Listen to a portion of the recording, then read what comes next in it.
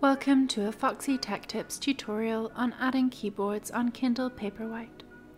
If you find this tutorial helpful, please consider subscribing to my channel and liking the video. From the Kindle homepage, tap the three dots button in the top right.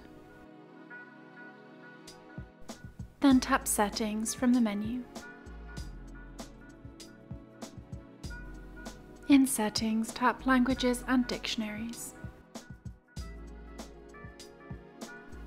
Select keyboards from the options.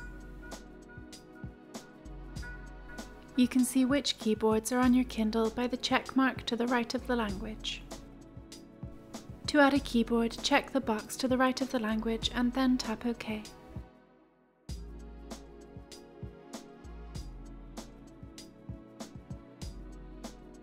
If the language is not downloaded, then you will have to tap Download to the right of the language.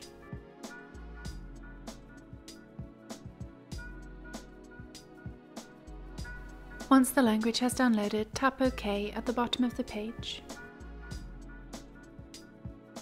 That keyboard has been added to your Kindle. And that draws an end to this tutorial.